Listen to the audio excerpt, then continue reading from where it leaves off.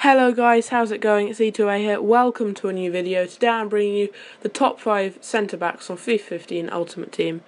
Uh, sorry for the lack of uploads recently. I was on holiday in France and now I'm back in England and uh, I've got a new PC. So hopefully my uh, my videos are going to be better quality. I'll be able to put, put out more as well. I got my Elgato today, which is really cool, and also I've ordered a microphone. This is actually recorded with my phone, so sorry for the quality uh, of um, of this. So so yeah, get let's get on uh, into the video and starting off at number five is Vincent Kompany. He's 86 rated and plays for Man City in the BPL and he's Belgian. He's got the traits of dives into tackles, injury prone and leadership. Uh, personally, dives into tackles isn't the best of traits because um, they sort of just commit uh, sort of with one tackle and then are out the game for for centre backs with that sort of work rate. So I think Chiellini has got that too. I think uh, Kompany's the only one in this top five with that work rate, with not with that trait. Sorry, and that's why um, he's not higher up because uh, of that mainly. Because uh, when he does get into the tackle, if he misses it, then he's sort of out the game, which is uh, really annoying. Uh, work rates medium medium, which is pretty good. Average price 12k. That's uh, on the Xbox 360 market at the moment. So uh, yeah, that's not too expensive uh, for what you're getting. 90 standing tackle, 77 sprint speed, 85 sliding tackle, 83 jumping, 88 strength, 75 long passing, 84 heading accuracy, 74 ball control. Um, 80 short passing, 87 interceptions, 85 marking, 84 reactions. Very good stats there. Really good tackling. He's very strong. He's good at heading. He's six foot three, so he's never really gonna never really gonna concede any goals from corners when you've got him at centre back. Uh, very strong, good on the ball with good ball control and passing. So he's not just gonna lose the ball as soon as he's got the ball. He will then uh, be able to pass upfield, and you'll be able to um, start your attack from the back. Uh, so also uh, pretty pretty quick, um, good interceptions and marking, so uh, good for cutting passing lanes, and yeah, just a very good player. But uh, sadly, the dives into tackles straight um, means he's lower down on the list. So on to the next player, and it is Sergio Ramos. He's got the traits of leadership and power header, high medium work rate. So that's the reason that this guy isn't higher up. He's often out of position. When he is in position, he plays very very well.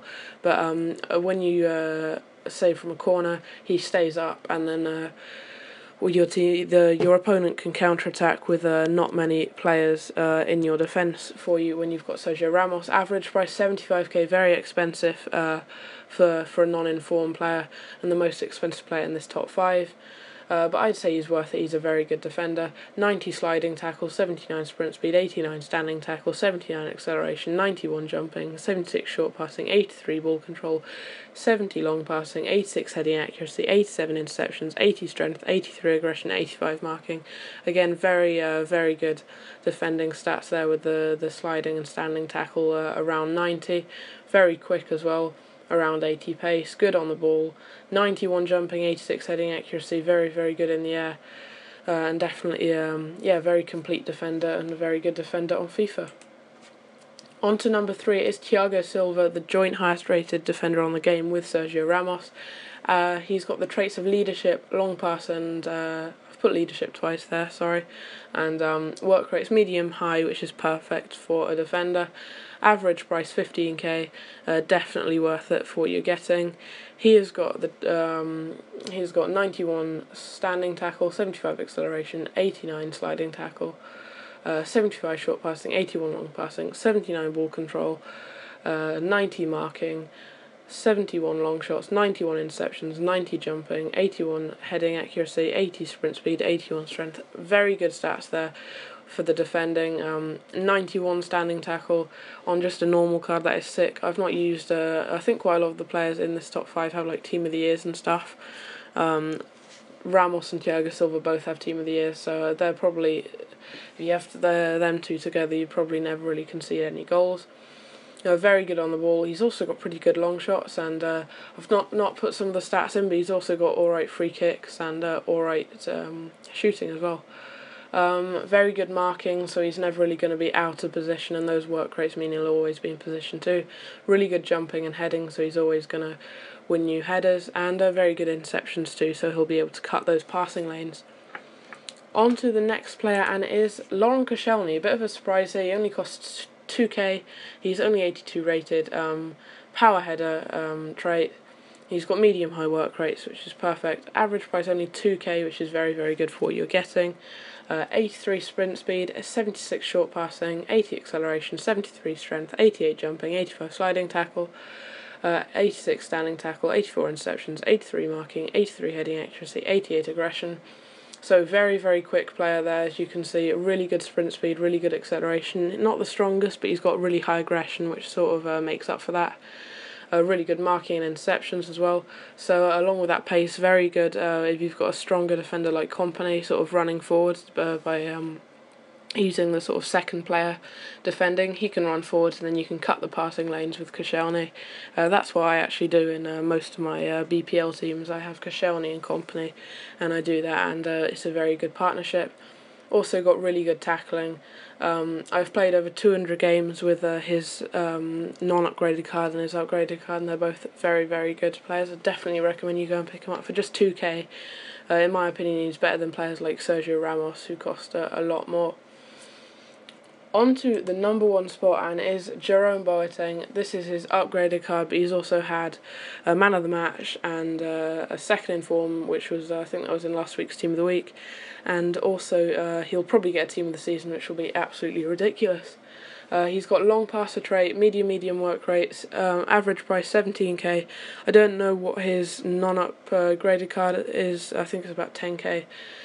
Uh, he has got 87 standing tackles, 70 acceleration, 85 sliding tackles, 76 long passing, 87 sprint speed, which is uh, that's really really good for a defender. That's on the same level as players like Anua. Uh, he's not got the best of acceleration, but uh, very high sprint speed does mean that when he does uh, get going, it will take a while for him to get to his top speed. But, uh, but say when you're having to track back uh, from a corner or something, and the other team's counter attacking, he'll always get back and. Um, very, very good player for those sort of situations. Decent jumping, very, very strong. Uh, good short passing, good interceptions, really good on the ball. So um, yeah, good passing. So uh, like all the players really in this uh, top five, once uh, they do get the ball, they will be able to uh, build from the back and pass it up uh, to your strikers, and hopefully you'll be able to score goals from from doing that. Uh, good aggression, good marking, good heading, uh, good reactions. So uh, again, he'll be able to to cut the passing lanes, uh, good interceptions too, uh, be able to just track back and um, if you use sort of a bigger, bulkier player, maybe like um, Hummels, he runs forward and sort of uh, pressures the the, the the striker, sorry, and then Boateng sort of um, can cut the passing lanes. I could actually do a tutorial on that, which is a, it's a very effective way of defending. Um, if uh, if you guys want, just tell me in the comments below if you want me to do that, because um, it does work very well, uh, especially with uh, some of the players in this top five. So yeah, Boateng, definitely uh, recommend that you go and pick him up, and uh, definitely recommend that you try out all these players in this top five because they'll definitely stop you let letting in as many goals. And also maybe if you combine this with my top five goalkeepers video, I'll leave a link in the description to that. Uh, be sure to go and check it out. There are some players in this uh, top five who'll uh, definitely link up with um, players in that top five, and then you can make a very very solid defence by doing that. I think there are, there are quite a lot of players um, in that top five who actually play for the same teams. Uh, as these players here, so um, definitely recommend you go check that out so you can build yourself a really solid defence and stop conceding goals. So thanks for watching guys, this is the end of the video, hope you enjoyed, if you did and you could hit that like button that would be awesome, because we did hit the, the like target on last video, we got um, more likes than we've had on any other videos, which is really cool. Thanks for that. Um, we've been getting lots more likes, lots more views recently. My channel's really growing, so thanks a lot for that. And I'll see you guys in the next video.